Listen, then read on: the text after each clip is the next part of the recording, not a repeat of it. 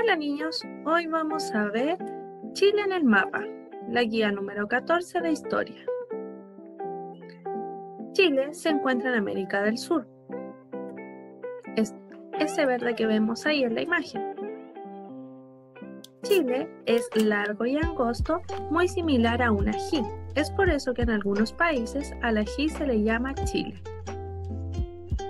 Los países vecinos de Chile son Perú, como vemos ahí en amarillo, Bolivia en verde, Argentina rosado y al oeste tenemos el Océano Pacífico. Chile al este lo bordea la cordillera de los Andes. Ahora vamos a trabajar.